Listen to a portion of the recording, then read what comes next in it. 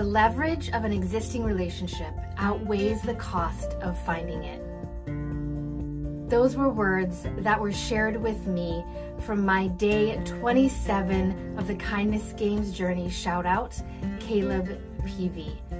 Caleb, you came into my journey as a creative in the perfect timing. And of course, we know that wasn't any of our doing, but I am so thankful for the way that you were available, made time to pour into me in the space that I was in in my journey. It was a pivotal, kind of crucial time when I was stepping into a new level of leadership, of creativity, of serving and helping. And your words spoke so much life into me. And I think one of the most profound things you said to me was, Sab, this is your permission to stop. and you don't know how freeing those words were for me, how releasing it was of a burden that I think we often, as entrepreneurs, as leaders, even as moms, we put on ourselves to constantly be in motion to constantly be producing, constantly be um, giving to this other. And Caleb, you said, Sab, this is your permission to stop. And in that space, you walked through with me what it looked like, what it could look like to be very intentional about the way that I create. And um, from that time, I was able to ask some questions of the people around me that helped me to get a better understanding of myself, of what it is that I was created to do, and the kinds of things that I was created to create.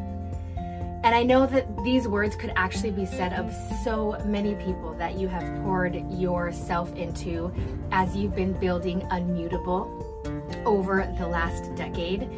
I am so encouraged all the time when you make yourself available for the people that are dreaming. We see these things happening all around us and we feel something inside of us and we work to create.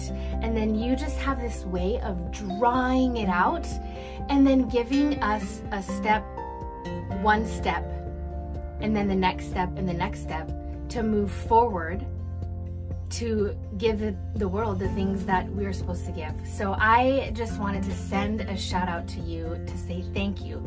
Thank you for the way that you have spoken life and honest truth into my journey as a business owner and as a creative. And I, for the masses, thank you for the way that you um, speak from experience and and make it tangible for us to move ahead and gain momentum and use our voice. I am cheering you on as you launch your new podcast. If you guys haven't heard of it, um, it's the Book Launch Insider podcast. I'll put a link in the description, but also um, you can check out Caleb at Unmutable he is behind some of the amazing books that speak life and truth into our generation and that is going to continue to shape the generations for come because to come. And i know that that's your heart caleb and i know that really that is what creating is all about is the legacy that we will leave sending you all my aloha today. Happy Aloha Saturday. Happy July. Happy day 27 of the Kindness Games, Kapahu style. I'll see you guys soon. Aloha.